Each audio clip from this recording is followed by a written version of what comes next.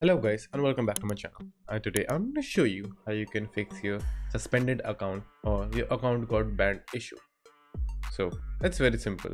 All you have to do is submit a ticket. But before getting on with the video, let me clarify a few things. The account that can only be unbanned is the account which was completely safe, meaning it was not your fault whatever happened to your account and it got banned unnecessarily but if you're using any misconduct or using some inappropriate tools in the games so your account will not be getting back. So just wanted to make it clear. Now let's get on with the video. So for unbanning your account what you have to do is just simply submit a ticket. So the link for the portal where you're going to submit a ticket is already present in the description below. You can just simply click that. Then you will reach a page like this. Now the first thing that you have to do is simply log in with your valorant id then just simply click submit a ticket. Then in the request type, choose discuss personal suspension. So in the subject, just simply write my account got suspended slash ban. So after that, just simply enter your Riot ID. So for knowing the Riot ID, what you have to do, just simply scroll up and open the Riot Games into a new tab.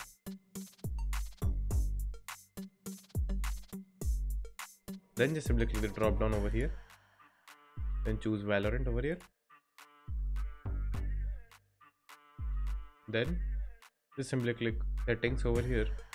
After logging into your ID, just simply click settings. Enter the verification code. If you have set the two-step verification then just simply enter the code.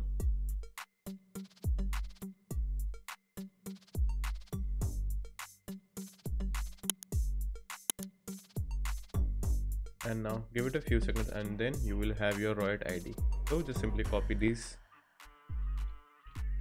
and paste it over here. And also make sure to copy the hashtag over here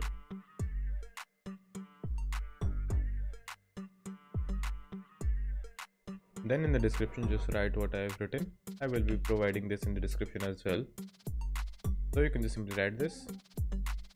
Then in the inquiry just simply choose discuss game ban. Then enter the duration for how long it is banned. Then do you know why your account was suspended? Simply choose unnecessary. Then just simply attach anything related to your account like your name or id or or anything that you have in your account specifically.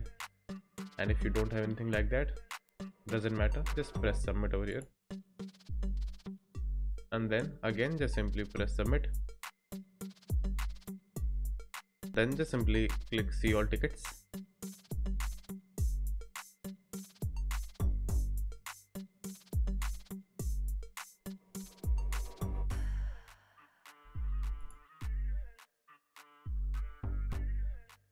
and as you can see my ticket has been initiated now.